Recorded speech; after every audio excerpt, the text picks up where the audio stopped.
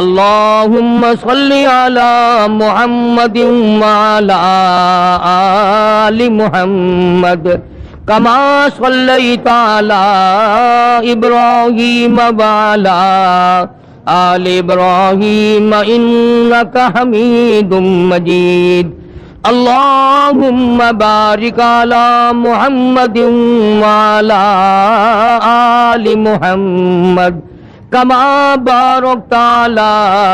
इब्राहीम वाला। आल इब्राहीम हमीदुम मजीद।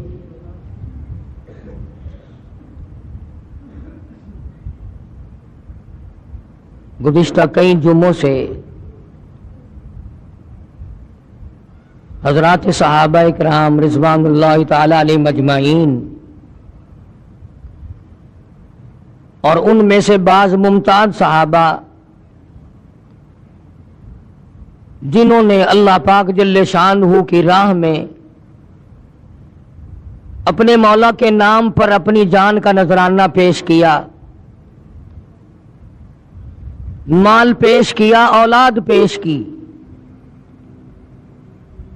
आखिर कोई वजह तो थी जो परवरदिगार आलम ने कुरान करीम में कई मकाम पर यह ऐलान फरमा दिया, लोगों, ये मोहम्मद वसल्लम की जो जमात है, ये मुझसे राज़ी है, मैं इनसे राज़ी हूँ।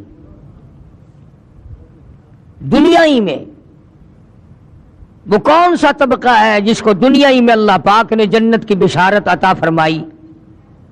और जन्नत भी दरकिनार रही, जब यही ऐलान हो गया कि तुम मेरे हो, मैं तुम्हारा हूँ, तुम मेरे लिए हो, मैं तुम्हारे लिए हूँ। तो आज मैंने कुरान करीम के ग्यारहवें सिपारे में से सूरत यूनुस के आखिरी रुकों के चंद आयतों की तिलावत की। और इसलिए कि जहाँ हबशी बिलाल रज़ी अल्लाह ने मार खाई, जहाँ अबू फकीहा की पसलियाँ तोड़ी गईं, जहाँ सैयदा जनीरा की खड़ी करके दोनों आँखें निकाल दी गईं वहाँ इन लोगों ने मोहम्मद अरबी सल्लल्लाहु अलैहि वसल्लम के साथ क्या नहीं किया? असल दुश्मनी तो सरकार से थी। तभी तो गुलामों को मारा। जब उनके बातिल नजरियात पर सरकार मदीना की जरबेकारी लगी और जब अल्लाह का कुरान आया और उनकी रस्मों की जड़ें उखेड़ी अल्लाह के कुरान ने। जो मक्के वालों ने माबूद बना रखे थे, बुत बना रखे थे, और वो बुतों के मामले में इतने तरक्की याफ्ता साबित हुए कि एक दो पे भी गुजारा नहीं किया। बैतुल्ला अल्लाह के घर को तीन सौ साठ बुतों से भर डाला। यानी साल के 360 दिन, हर दिन का नया खुदा, हर दिन का नया हाजत रवा।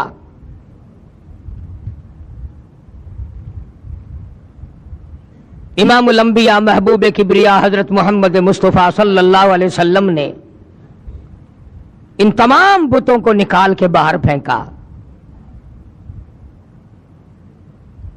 फिर कभी आपके मज़हब के बारे में बातें करते थे। ये मेरी अपनी बात नहीं। उस शहनशाह कायनात सल्लल्लाहु अलैहि वसल्लम को कुरान कहता, लोगों ने जादूगर कहा, कजाब कहा, झूठों का झूठा, मजनून कहा, दीवाना पागल बताया।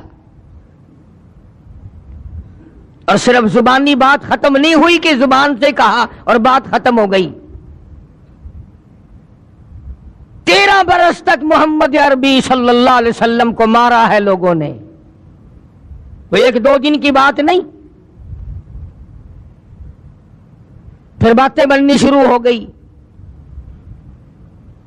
कि जीन के तो मज़हब कहीं पता नहीं चलता, ये किस मज़हब पे हैं, कौन है ये? आज भी अगर लोगों के तरीके के साथ मौलवी चल पड़े लोगों के कहने के मुताबिक चले तो बड़ा अल्लामा है। बहुत बड़ा आलिम फाजिल है। और अगर लोगों की बात ना माने, खुदा की माने, कुरान की माने, मुस्तफ़ा करीम वसल्लम की माने, फिर कहते हैं, जी ये कोई कोई शह ही नहीं है। चारों तरफ़ से यलगार हुई कि यारो, इसके मज़हब का पता नहीं चलता, इसका अकीदा क्या है, दीन क्या है? चुनाचे इमामुलम्बिया की किबरिया हज़रत मोहम्मद मुस्तफ़ा सल्लल्लाहु वसल्लम की ज़ात अकदस को अल्लाह पाक ने हुक्म दिया। फरमाया, मेरे नबी, ये सारा मक्का, सारे अरब के लोग आपसे मज़हब के बारे में पूछते हैं, तेरा अकीदा पूछते हैं, तेरा दीन पूछते हैं, आपका ईमान पूछते हैं। कुल कहो, फरमा दो कुल या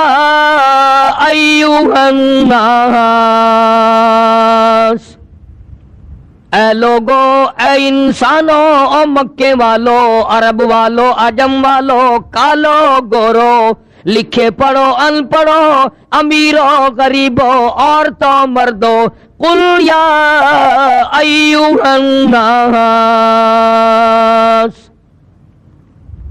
यूँ फरमाओ, काली कमली वाले सल्लल्लाहु अलैहि वसल्लम, ओ लोगो, इन कुम तुम पी शक्किम मिन दीनी।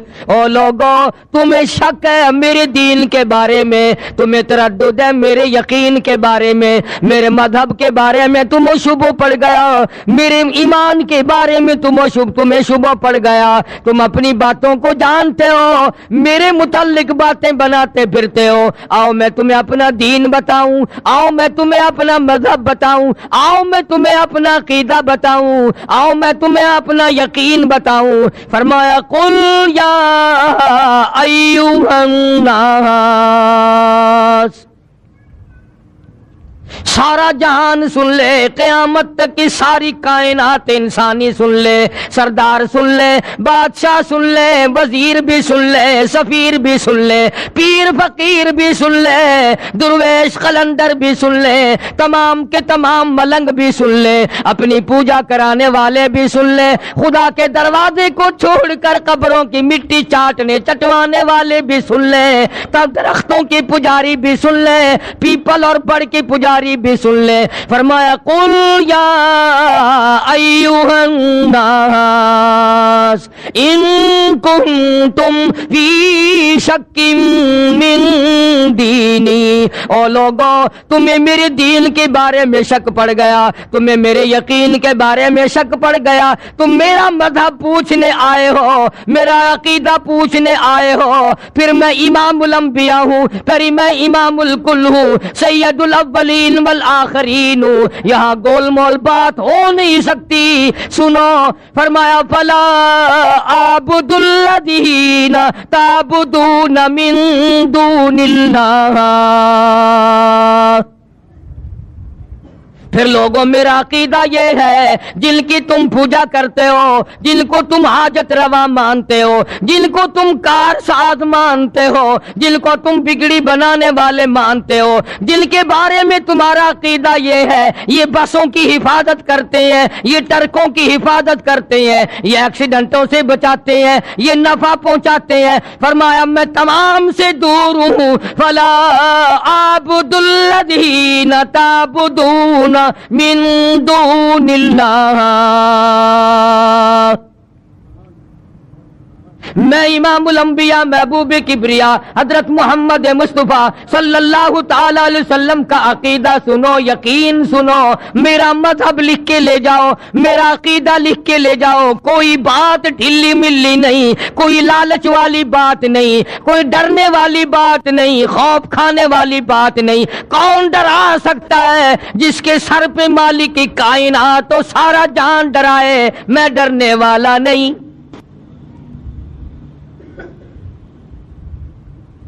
फला आबुदुल्लदीन ताबुदून मिन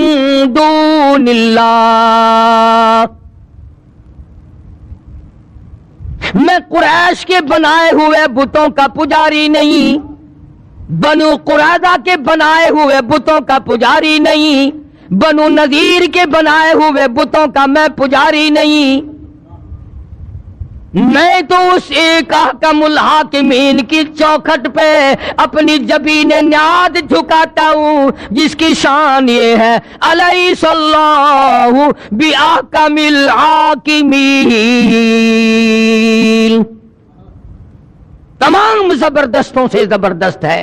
एक ही पालनहार, एक ही खालिक और मालिक।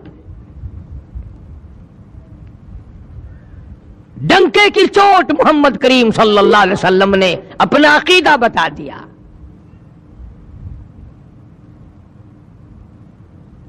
आज हम, जैसे हमारे मुल्क में मशीनें बनती हैं, कुछ पुरजे विलायती, कुछ देसी मिला दिए, वही हाल हमारा अकीदे का बना हुआ कुछ सरकार की बातें ले ली, कुछ हुजूर सल्लल्लाहु अलैहि वसल्लम का एक आधा फरमान ले लिया, कुछ अपनी तरफ़ से मिला लिया, अकीदा बन गया सारा कुरान आखिर क्या हुक्म करता है? यह हमने तो नहीं बनाया कुरान करीम। कौन बना सकता है? अपने घरों में जाओ, कुरान करीम तर्जमे वाले हज़ारों तुम्हारे पास मौजूद हैं। सूरत यूनुस का आखिरी रुकू का जरा तर्जमा तो देखो। बीए कर सकते हो एमए कर सकते हो एफए कर सकते हो इंजीनियर इन कॉलेज पढ़ सकते हो मेडिकल कॉलेज पढ़ सकते हो कुरान पढ़ते हुए फांसी लगती है। अकीदा बुनियाद है। अकीदा सही नहीं तो कोई चीज़ काम नहीं आएगी। इसलिए साफ़ साफ़ तौर पर ऐलान कर दिया, फला आबुदुल्लदीन ताबुदून मिन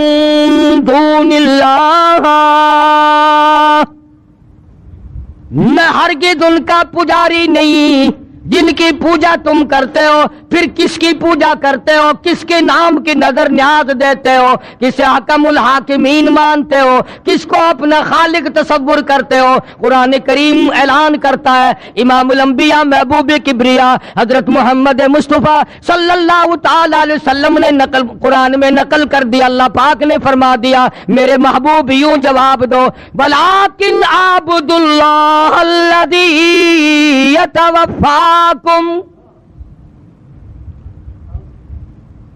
मैं तो उसकी पूजा करता हूँ, जो तुम्हारी मौत पे कादिर है। क्या बात कही है? क्या बात फरमाई है? वो हमारी हिंदुस्तानी बोली में रोग काट दिया किस्सा मुका दिया। मैं उस खुदा का पुजारी हूँ, जो खुदा तुम्हारी मौत और ज़िंदगी पे कादिर है।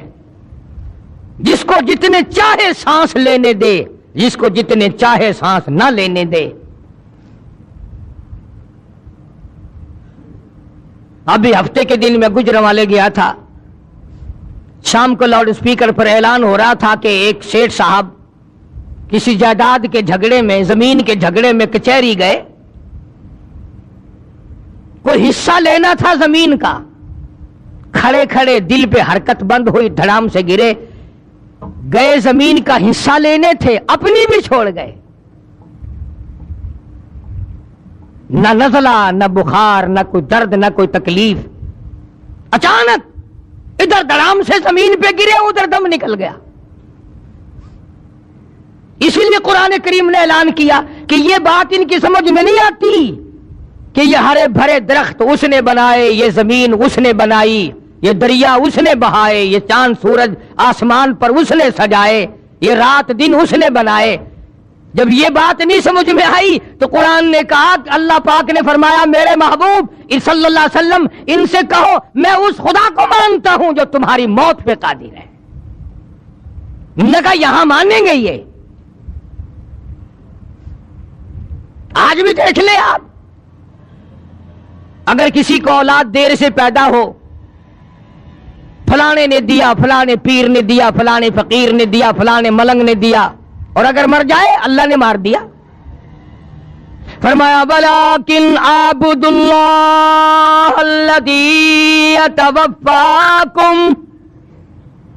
मैं उस खालिक और मालिक का पुजारी हूँ, मैं उसका मानने वाला हूँ। जो तुम्हारी मौत पे कादिर है, अगर वो चाहे दिन में मौत लाके खड़ी कर दे, वो चाहे रात में मौत को भेजे, वो चाहे तमाम को एक यकदम फना कर दे, वो चाहे अस्पताल में मौत भेजे, वो चाहे बीवी बच्चों के सामने मौत भेजे, वलाकिन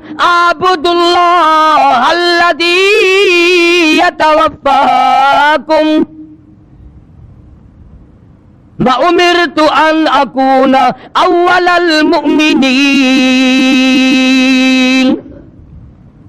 मुझे हुक्म मिला है कि मैं सबसे पहले उस पर यकीन करने वाला बनूं, खुदा की जात पर एतमाद करने वाला बनूं, मालिक के कायनात के एक एक जर्रा पर तमाम चीज़ों पर यकीन करने वाला बन जाऊँ। वजह कल दीन हनीफा मुझे मेरे मौला ने हुक्म दिया, मैं चारों तरफ़ से हट कर एक की तरफ़ रुजू करूँ, एक की तरफ़ यकसू हो जाऊँ, एक ही का बन जाऊँ। वला तकून मिनल मुशरिकी मौला कायनात ने मुझे शिरक से मना फरमाया, उसकी जात के सिवा मैं किसी को नहीं मानता।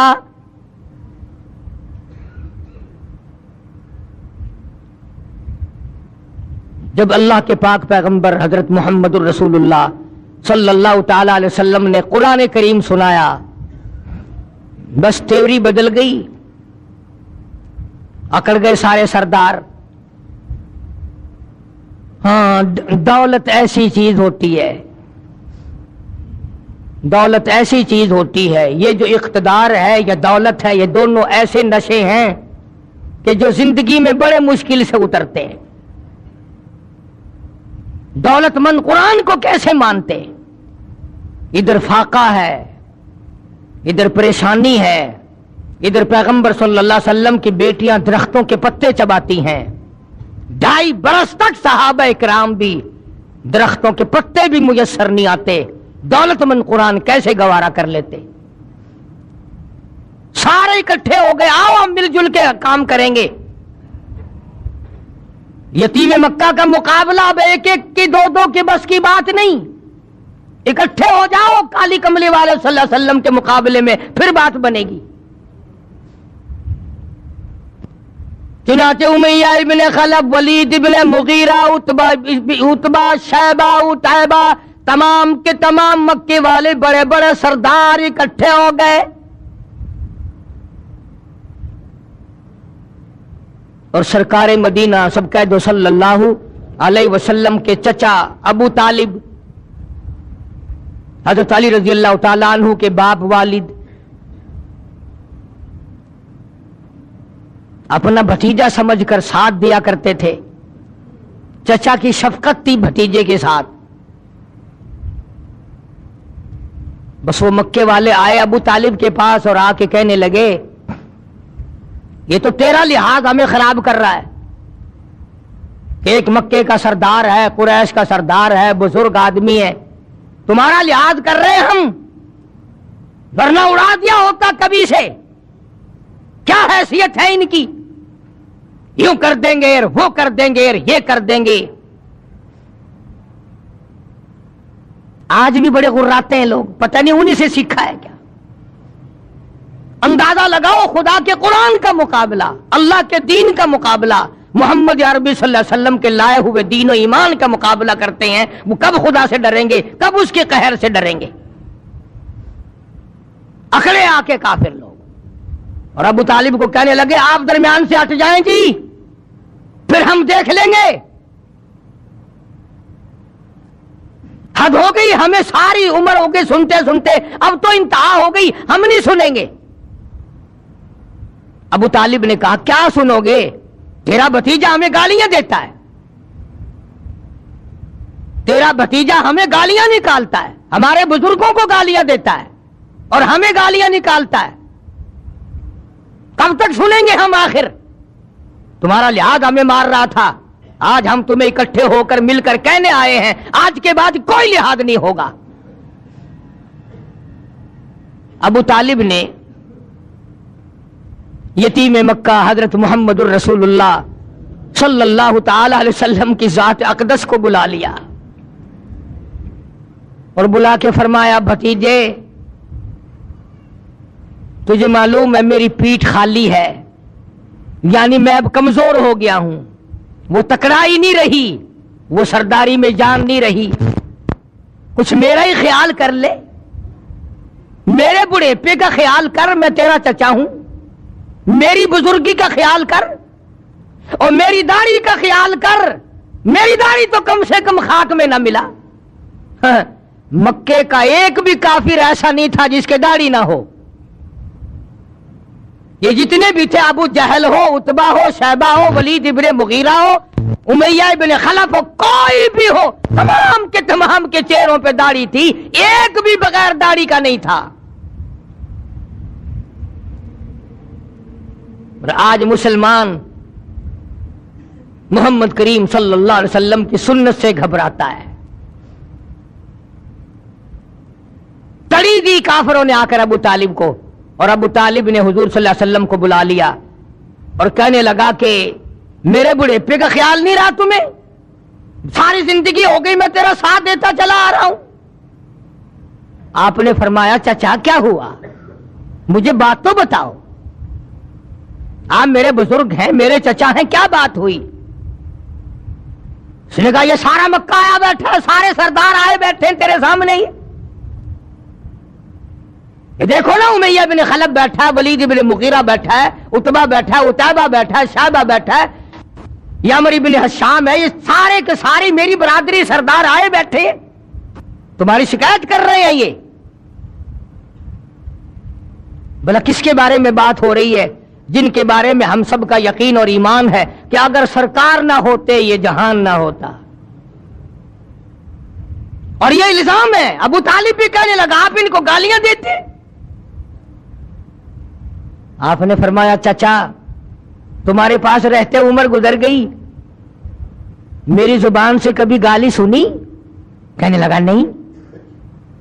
फरमाया, ओ चाचा, तू अच्छी तरह से जानता है, तेरी आँखों ने सैकड़ों नहीं, हज़ारों मरतबा देखा, लोगों ने मुझे पत्थर मारे, मैंने फूल बरसाए, मैंने तो गाली उस वक्त भी नहीं दी, जब मैंने सर सजदे में रखा हुआ था, और ये सारे के सारे ऊँट का ओझ लाकर मेरी पीठ पे लाद के चले गए। इन्होंने मेरे सर पे गंदगी फेंकी, मेरा चेहरा जख्मी किया। जिधर से गुजरता हूँ, पत्थर मारते हैं। जिस गली से गुजरता हूँ, पत्थर मारते हैं। चारों तरफ़ से मारने वाले ये लोग हैं। एक दिल भी, एक वक्त भी। ये बताएँ तो सही, मैंने कभी गाली दी हो। मैंने कभी गाली नहीं दी। अबू तालिब ने उनसे कहा, क्यों भाई? आमने सामने की बात है, तुम तो कहते थे रात दिन गालियाँ देता है हमें। ये तो कह रहे हैं कि मैंने कभी गाली आज तक किसी को दी नहीं। मैं गालियाँ देने देना ही नहीं जानता। कभी भी मैंने किसी को गाली नहीं दी। ये सामने बैठे हैं। अबू तालिब कहने लगे, क्यों भाई बोलो? ये तो कह रहे मैंने गाली नहीं दी। अब वो सारे सारे यकदम बोले, तवज्जो करना, कभी कुरान भी समझने की कोशिश किया करो, खुदा के बंदो। तमाम के तमाम इकट्ठे बोल उठे और कहने लगे कि कौन कहता गाली नहीं देते। हर वक्त कहते हो सिर्फ़ एक है और कोई नहीं। मुश्किल कुशा एक है, हाजत रवा एक है, बिगड़ी बनाने वाला एक है, बीमारियाँ दूर करने वाला एक है, औलाद देने वाला एक है, बारिश बरसाने वाला एक है, दरियाओं के रुख मोड़ने वाला एक है। किसी को ठारा ठारा बच्चे किसी को एक भी नहीं, सारा निज़ाम एक के हाथ में है, और कोई नहीं कोई नहीं, हर वक्त कहते हो कि नहीं। आप सल्लल्लाहु अलैहि वसल्लम ने फरमाया, ये गाली है। नगा गाली नहीं तो और क्या है ये? यही तो वो गालियाँ जो हमें खाती हैं। आज भी लोग कहते हैं ना, केस्टे सुन सुनकर कुरान अच्छा पढ़ता है, तकरीर बड़ी अच्छी करता है, पर वलियानु नहीं मानता कार्य नहीं। खुदा के बंदो वलियों को कौन नहीं मानता? डाकुओं को नहीं मानता? ठगों को नहीं मानता? हाँ। जो पेपर औरतों को सामने बिठाकर गप्पे मारते हैं, उनको नहीं मानता। लगा अच्छा ये गालियाँ हैं। कि हाँ ये थोड़ी गालियाँ हैं। हमारा सर खा लिया तुमने गालियाँ दे देकर। जवाब इरशाद फरमाया, हज़रत मोहम्मद रसूलुल्लाह सब कह दो सल्लल्लाहु अलैहि वसल्लम ने हमारे माँ बाप कुर्बान हो जाएँ सरकार मदीना सल्लल्लाहु अलैहि वसल्लम के कदम मुबारक से उड़ी हुई खाक पे। आपको भी जलाल आ गया। फरमाया, चाचा, अगर ये गालियाँ हैं तो फिर मैं मजबूर हूँ। अगर ये गालियाँ हैं कि खुदा के सिवा और कोई परस्तिश के काबिल नहीं, और कोई पूजा के काबिल नहीं, और कोई नज़र न्याज के काबिल नहीं, और कोई घटाने बढ़ाने वाला कोई नहीं, दिन रात में तब्दीली करने वाला कोई नहीं, सर्दी गर्मी की तब्दीली करने वाला कोई नहीं, अगर ये गालियाँ हैं तो फिर मैं मजबूर हूँ, तुम्हें ये गालियाँ सुननी पड़ेंगी। फिर मैं मजबूर हूँ। तवज्जो करना, अबू तालिब बीच में था। अब बेचारा अबू तालिब भी ईमान तो नहीं लाया था ना?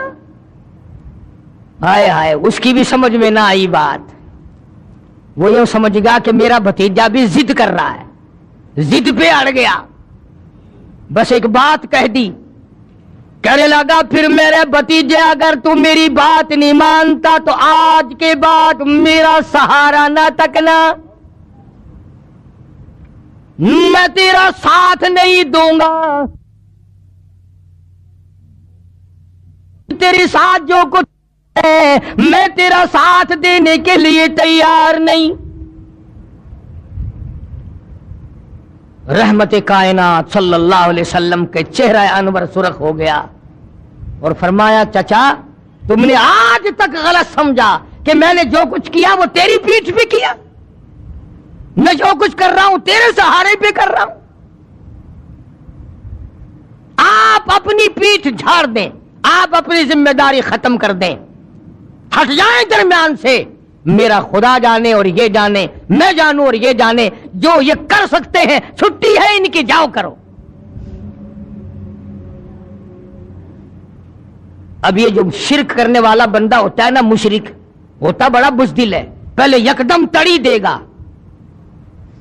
यकदम पहले तड़ी जमाएगा रोब डालेगा और अगर आगे से मुवाहिद अकड़ जाए, फिर फ़ौरन है देखें जी, आप तो नाराज़ हो गए।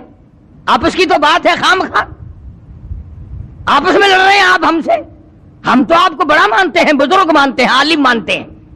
तजर्बा करके देख लेना, फ़ौरन ढिल्ले पड़ जाएँगे। अब जब जब देखे ना, आमला के दुर्र यतीम सल्लल्लाहु अलैहि वसल्लम के तेवर बदलते हुए।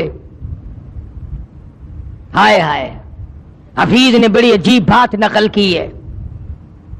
जरा मस्जिद में बैठे हो, किबले की तरफ़ मुँह किए बैठे हो बाबूजू बैठे हो, जरा कलेजे पे हाथ रख के तो सोचो कि सरकार मदीना सल्लल्लाहु अलैहि वसल्लम के जिगर मुबारक पे इस वक्त क्या बीती होगी? क्या आपकी जिगर पे बीती होगी उस वक्त में? और साफ़ होकर के यूँ फरमा दिया कि चचा के दाम ने शफीकत को भी हटता हुआ पाया। चचा के दामन शफकत को भी हटता हुआ पाया।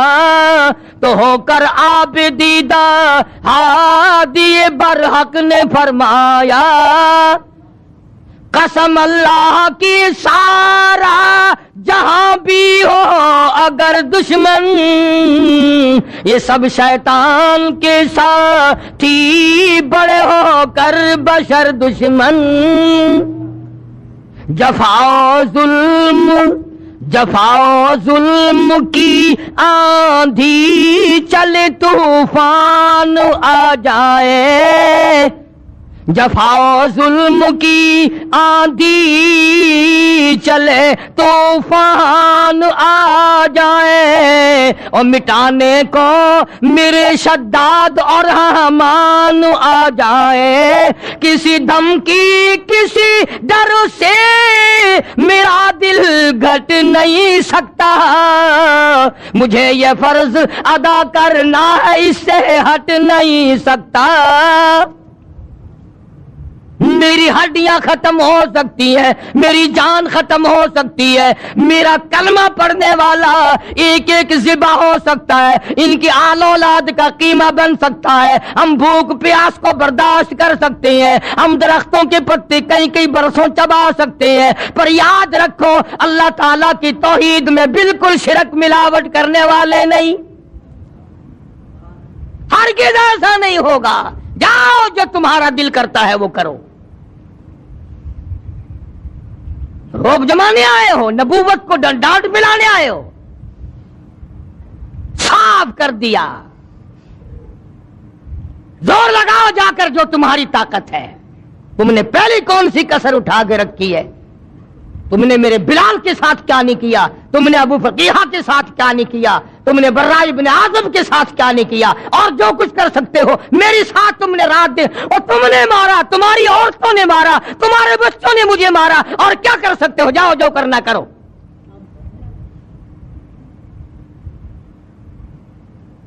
फ़ौरन डिल्ले पड़ गए। जब डांट पिलाई ना कहने लगे, देखो जी आप भी कुरैशी हैं, हम भी कुरैशी हैं। आप भी मक्के के बाशिंदे हैं, हम भी मक्के के बाशिंदे हैं। आपस में अगर लड़ेंगे तो नुकसान अपना ही होगा। देखो ना जी, एक ही घर का नुकसान होगा ना। जब सर पे पड़ती दिखाई दी ना, फिर घर याद आ गया। एक ही घर का नुकसान होगा, एक ही कबीले का नुकसान होगा। बेहतर सूरत यह है कि अगर आप सरदारी चाहते हैं, यानी आपने जो ऐलान नबूवत किया है, अल्लाह ताला की तोहीद का परचम लहराया है, ला इलाहा मोहम्मद वसल्लम, कलमे की जो आपने तलकीन की है लोगों को, अगर आपका मकसद सरदारी है, हम सारे अरब का आपको सरदार मान लेते हैं। सारे अरब का सरदार आपको मान लेते हैं। और अगर दौलत चाहिए सारे अरब की दौलत आपके कदमों में लाके डाल देते हैं। सारे अरब की दौलत। और तीसरी बात बड़ी अजीब कही। कहने लगे, अगर किसी लड़की पे नज़र है तो एक नहीं, हज़ारों हाजिर हैं। वही तीन चीज़ें जो मक्के के काफरों ने नबी को पेश की थी। सरदारी हुकूमत, दौलत, औरत। वही तीनों चीज़ें मक्के के काफरों ने सरकार के सामने रखी। कि सरदारी के झांसे में आ जाएँ, दौलत के लालच में आ जाएँ, औरत के पीछे लग जाए।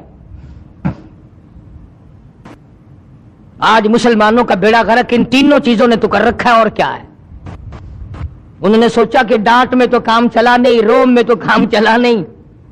इस तरीके से काम चल जाएगा, कुछ लालच देंगे, कुछ तमा देंगे, कुछ सरदारी का नाम लेंगे, कुछ दौलत जमा कर देंगे, लड़कियाँ भेज देंगे। अल्लाह के पाक पैगंबर हज़रत मोहम्मद सल्लल्लाहु ने जवाब इरशाद फरमा दिया, फरमाया, मेरे हाथों पिला कर चाँद सूरज भी अगर रख दे।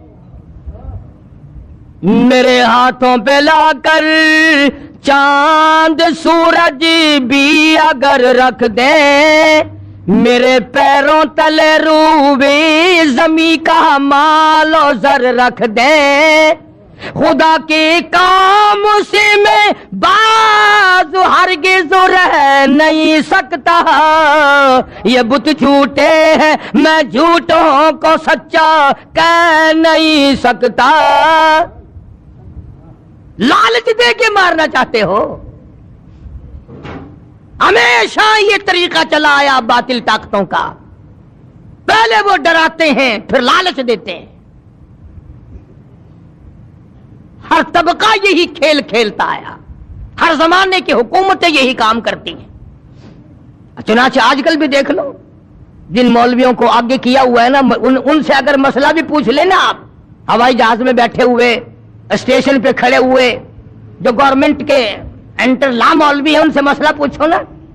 वो जरा इस वक्त जहन में नहीं है, किसी मदरसे से जाके पूछ ले। बताए कैसे मार पड़ेगी? फ़ौरन खाया हुआ हजम करना बड़ा मुश्किल हो जाता है। इसीलिए हम तो हर वक्त दुआ करते हैं, खुदाया, अपने खजाने से खिला, अपने खजाने से सवारी हाजात को पूरा फरमा, किसी का मोहताज ना बना। बड़े बड़े बन गए। तो मदनी करीम सल्लल्लाहु अलैहि वसल्लम ने साफ़ साफ़ जवाब इरशाद फरमा दिया, जाओ जाओ, अपना काम करो। मुझे तुम्हारी सरदारी की कोई हाजत नहीं, मुझे तुम्हारी दौलत की कोई हाजत नहीं, मुझे औरतों की तुम में से कोई ज़रूरत नहीं, मैं अपने ईमान यकीन का सौदा नहीं करता। और अखीर में जो बात फरमाई, हफीज ने उसको मंजूम किया है। बड़ी अजीब बात है। फरमाया, मेरा ईमान है, हर शे पे कादिर हक ताला है। मेरा ईमान है, हर शैप कादिर हक ताला है। वही आगाज़ को अंजाम तक पहुँचाने वाला है। मेरा उसके सिवा मबूद कोई नहीं। मेरी बिगड़ी बनाने वाला कोई नहीं। अरे जब वो चाहेगा, एक सांस आगे बढ़कर लेने वाला कोई नहीं। यही तालीम थी एक लाख चौबीस हज़ार अम्बिया कराम की। और यही तालीम है एक लाख उनतीस हज़ार साहब कराम की। और यही तालीम है लाखों औलिया कराम रही मजमाइन की। तो फरमाया, मेरे नबी, इन लोगों को वाजे कर दो, इनको बता दो, जता दो, समझा दो, कुल कहो। फरमाओ, या अयुहन्नास ओ इन तुम पी शकिम लोगो मेरे मदब के बारे में शक न करो, मेरे मदब के बारे में, अकीदे के बारे में तुम्हें शक पड़ गया। आओ मैं तुम्हें बता दूँ बलाकिल आबुदुल्लाह यतवफ़ाकुम। हाँ मैं वो नहीं हूँ जहाँ चूना लगा हुआ देखा। जहाँ जरा संगे मरमर लगा हुआ देखा। सुबह अल्लाह हाँ जी, यहाँ तो हज़ारों की बिगड़िया बन गई। जहाँ संगे मरमर देखा, वही चूम लिया, वही चाट लिया, वही सर झुका दिया और वही अपने बिगड़ी बनाने का सवाल कर दिया। अब मैं कसम खा के कहता हूँ बाबूजू मिंबर पे बैठा हूँ, अब ये सारे का सारा मैंने कुरान करीम का तर्जमा या हफीज के शेर नकल किए हैं। अब बताओ, एक तरफ़ तो अल्लाह का यह कुरान है नबी से ऐलान कराया खुदावंद आलम की जात अकदस ने। और उधर दुकानों पे, होटलों पे बैठकर अच्छा जी हाँ जी हाँ वली मुश्किल कुशा नहीं हो सकता। गोली कब्ज कुशा हो सकती है, वली मुश्किल कुशा नहीं हो सकता। तरकीब देखो। गोली कब्ज कोशा हो सकती है। अल्लाह ने अपनी जात में, अपनी सफात में किसी को शरीक बनाया ही नहीं। कोई है ही नहीं। बलन नुशरी का भी रबी ना आहादा। अल्लाह कहता है और लोगों, अगर मैं अपना कोई शरीक बनाता तो बीवी बनाता, औलाद बनाता, मेरा है ही कोई नहीं। कुल अल्लाह आहद मेरे नबी ऐलान करो, मैं तो हूँ ही अकेला। अकेला ही था, अकेला हूँ, अकेला रहूँगा।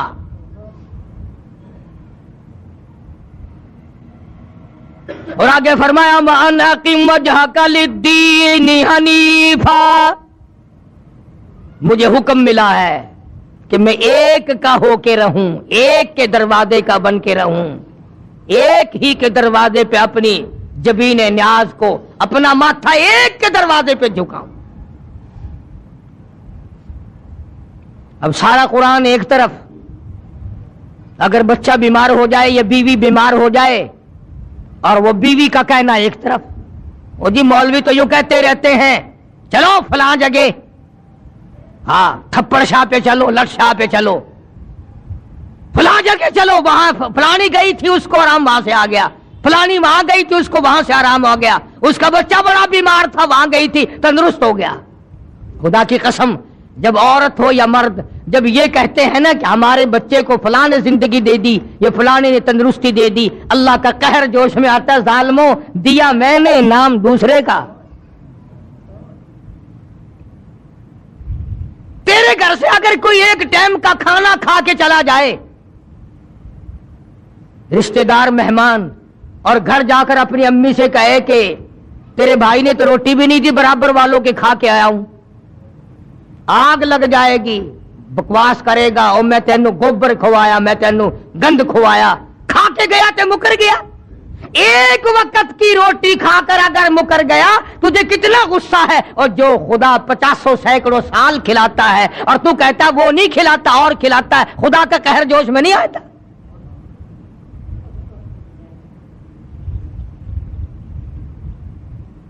शिरक की बीमारी वो बीमारी है, लाइलाज बीमारी। जिन्होंने अंबिया कराम को सताया, जिन्होंने साहब कराम को मारा, जिन्होंने एक एक दिन में सत्तर सत्तर नबियों की गर्दनें काट दी। इसलिए कितनी बड़ी दुश्मनी फैली मक्के में, सारे अरब में, अरब अजम में दुश्मनी फैली। हुजूर करीम सल्लल्लाहु के पैगंबर के प्यारे चचा के टुकड़े कर दिए गए। बड़े बड़े प्यारे सहाबा को शहीद कर दिया गया और अल्लाह की राह में उनको बड़ा सताया गया। कौन सा वो वक्त है कि हुजूर करीम सल्लल्लाहु अलैहि वसल्लम ने सुकून की ज़िंदगी बसर फरमाई? बदर से गए, ओहद का ऐलान हो गया। ओहद से आए, खंदक का ऐलान हो गया। एक दिन भी चैन से नहीं बैठने दिया, एक दिन भी। और एक तुम हो, बस गजलें सुनी और खुश होते चले गए। आखिर नबी की ज़िंदगी का भी तो कुछ हासिल होगा। ये खुदा का कुरान तेरा मेरा बनाया हुआ नहीं। ये किसी तफरके या किसी फिरके या किसी पार्टी और पार्टी का कलाम नहीं। ये अल्लाह ताला का मुकद्दस कलाम है। और खुदा की कसम, ये मौलवी जो तुम्हें बहकाते हैं, ये कब्रों में तुम्हें नहीं छुड़ा सकते। ये हशर में तुम्हें नहीं छुड़ा सकते। यह भी कुरान ने नकल कर दिया, बाईसवा सिपारा सूरत सबा है। फरमाया यकूलदी नस्तगीफूलदी नस्तकबरू लौला लकुन्ना मुमिनीन वो बड़े बड़े आएँगे, आगे छोटों को पकड़ा हुआ देखेंगे। वो छोटे कहेंगे, वाजी, तुम तो हमें हिदायत दिया करते थे कि तुम्हारा क्या हशर बना हुआ, तुम क्यों फंसे हुए हो? कहा, जी, तुम्हारा, तुमने हमको फंसाया ना। कुरान गवाह है। यूँ कहेंगे मानने वाले लोग, दूसरे मानों में मुरीद लोग यूँ कहेंगे, वो तुम्हारा रात दिन का आना जाना हमें भी तबाह कर गया, तुम भी तुम भी बर्बाद हो गए, हमें भी बर्बाद कर दिया। इसलिए अल्लाह के कुरान के करीब आओ, अल्लाह के कलाम के नज़दीक आओ। नबी सल्लल्लाहु अलैहि वसल्लम की मंशा और गरज और मबदा के करीब आओ। जिस बात पर सहाबा ने लहू बहाया, उस बात के करीब आओ। और जिस बात को जिस बात की सजा पैगंबर की बेटियों ने भुगती फातमत जहरा रज़ी अल्लाह तहा ने दरख्तों के पत्ते चबाए, फाके काटे। और क्या दुश्मनी हो सकती थी? फरमा बला तदुमिन दून मालायन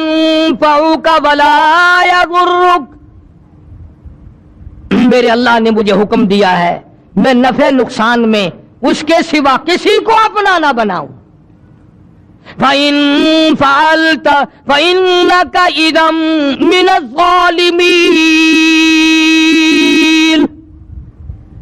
अगर मैं ऐसा करूँगा तो जुल्म करने वालों में से हो जाऊँगा, जालिमीन में से बन जाऊँगा कि खुदा के बताए हुए रास्ते को छोड़कर अगर मैं दूसरे रास्ते पे भटका, दूसरे रास्ते पे मैं चला तो उस वक्त फिर मैं जालिमों में से बन जाऊँगा। तुम्हारा क्या है? तुम तो मानने पे आओ एक बेनमाज को मान लो बदअकीदा को मान लो और ना मानने पे आओ तो खुदा के कुरान को ना मानो। बहरहाल हमारा काम है सजा भुगतना दुनिया की नफ, निगाहों से गिरा रहना और हक बात बताना ईमानदारी की बात की है न किसी के कहने से की है, न कोई गरज है, न किसी को चढ़ाना मतलूब है। मकसूद सिर्फ़ ये है, अल्लाह करे मेरी तेरी कबर अच्छा हशर अच्छा हो जाए, कलमे और ईमान पर खात्मा बिल खैर हो जाए, और शिरक की लानत से बच बच कर दुनिया में ज़िंदगी गुजारोगे तो बाकी गुनाह मालिक के कायनात माफ़ भी फरमा देंगे। वरना हमें क्या है? बहरहाल तकलीफ़ ज़रूर होती है। चारों तरफ़ लोगों ने अड्डे बना रखे। चारों तरफ़। उधर मेला, उधर ठेला। उधर दुनिया आ रही है, जा रही है। वहाँ गए थे, यहाँ गए थे, वो गए थे, ये गए थे। और पिछले दिनों में कसूर शहर गया। तो बाबा बुल्ले शाह, सब कह दो रहमतुल्लाह अलैह। मजार पे गया मैं फातिहा पढ़ने के लिए। कई लोग सोच रहे होंगे, तू क्यों गया? भला वो किसी के बाप को अलाट हो रहे हैं, वो बुज़ुर्ग हमारे नहीं, मैं क्यों ना जाऊँ? तो जब मैं वहाँ गया तो वो केस्टें तो सब सुनते हैं, जानते भी हैं बेचारे सारे वो, जो वहाँ सज्जादे नसीन वगैरह सब जानते थे, एहतराम किया। तो बाबा बुल्ले शाह रहमतुल्लाह की कब्र के ऊपर सिराने की तरफ़ इतना बड़ा दौरा रखा हुआ, इतना बड़ा। और उसमें लूण भरा हुआ है नमक। तो मैंने यूँ ही पूछ लिया उनमें से एक से, मैंने कहा, हजूर, इसका क्या मतलब है? बाबा बुल्ले शाह सिर्फ़ नमक खाते हैं? तुम घी खाते हो, तुम गोश्त खाते हो, तुम मिठाइयाँ हड़प करते हो। मैं कहा, बाबा दे मत्थे सिर्फ़ लूण मार छे आखे नहीं ये लोग आके लूण चख देने बाबे बुल्ले का लूण चख वेंदे बाबे बुल्ले ने, मैं कान खोली हुई है लून दी? मेरा मुंडा इवें इवें में करके कहने लगा, जी, तानू नहीं पता जी, बस इवें चलता है दुनिया से आखिर आवाम की तसली जो करनी हुई। हालाँकि बाबा बुल्ले शाह तोहीद का बड़ा सख्त पुजारी। इसलिए उसका एक शेर अर्ज़ कर दो, इलम नालो अशराफ नहीं हो दे इलम नालो अशराफ नहीं हो दे जिड़े हो तिन हो दिन जात कमीने। ओ पितल पलीत सोना नहीं बनदा तोड़े जड़िए लाल नगीने। ओ शोम कोलो शाम कोलो खैरात न मिलदी, तोड़े हो मन माल खजीने। बुल्ले शाह बिन तोहीद जन्नत न मिलदी, तोड़े मरिए शहर मदीने। बुल्ले शाह बिन तोहीद जन्नत न मिलदी, तोड़े मरिए शहर मदीने। बाबा बुल्ले शाह रही मोहल्ला का कलाम देखो। चाहे मदीने में मर जा, जब तक अल्लाह की जात पर साफ़ यकीन नहीं, तोहीद का खजाना नहीं, कुछ भी नहीं। सुल्तान बाबू रहमतुल्लाह कितने बड़े बुज़ुर्ग हैं, कितने बड़े अल्लाह वाले। मैं जो वहाँ गया फातिहा पढ़ने चीकनी मिट्टी के टरक के टरक पड़े हैं, और घोल घोल कर औरतों को पिला रहे हैं। सामने चोरी नहीं। लाइन लगी हुई है। मैंने कहा, किस लिए पी रहे हो के? ये जड़ी मिट्टी है ना, सत्तर बीमारियाँ की दवा है कहीं अंदाज़ा ला बाबा सुल्तान पाऊ रहमतुल्लाह फरमाते हैं, अदल करेता थर थर कम बन। अदल करेता थर थर कम बन। ऊंचिया शाना वाले हूँ। फजल करेता बख्शे जामन, मुझे मुकाले हूँ। फरमाया, ओ मेरे मौला, अगर अदल करने पे आया तो थर थर कहाँ पटाऊं बाबा फरीद रहमतुल्लाह कितना बड़ा वली है, कितना बड़ा वली है। और मुसीबत ये हो गई कि तुम ये भी नहीं जानते वली किसे कहते हैं। तुम्हारे यहाँ तो विलायत का मैार जो नंगा हो बैठे, खुदा ना करे, खुदा ना करे, अभी अगर सारे कपड़े उतार कर मैं सड़क पे खड़ा हो जाऊँ, तुम सारे शहर में जा कहोगे, आज विलायत मिली है, आज विलायत मिली है।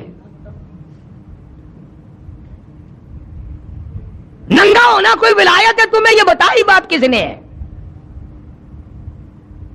बाबा फरीद रहमतुल्लाह अलैह, फरमाया, उठ फरीद, झाड़ू दे विच मसीत, तू सुता, रग रब जाग दई, तेरी डाडे नाल परीत खड़ा हो, उसके दरबार की सफ़ाई कर, अल्लाह अल्लाह कर। हाँ अर्ज़ करने का मकसद ये कि कुरान साफ़ है, मोहम्मद करीम सल्लल्लाहु अलैहि वसल्लम का फरमान साफ़ है, सारी चीज़ें तुम्हारे सामने साफ़ हैं। अपने अकीदे को दुरुस्त करो, अपने बीवी बच्चों के अकीदे को बनाओ, अकीदा नहीं, कुछ भी नहीं। एक करोड़ रुपया रोज़ाना सदका करो, अकीदा सही नहीं, पानी की तरह बह जाता है सारा। अल्लाह पाक मुझे और आपको सही कुरान मजीद समझने की और मोहम्मद करीम सल्लल्लाहु अलैहि वसल्लम के फरमान को समझने की, उस पर अमल की तोफीक अता फरमाए।